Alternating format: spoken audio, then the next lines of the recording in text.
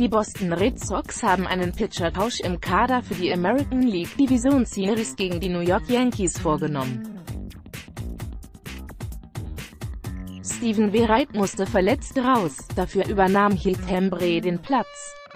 Wright, der sich über längere Zeit mit einer Knieverletzung herumplagte, verspürte nach dem Training erneut Schmerzen im Knie.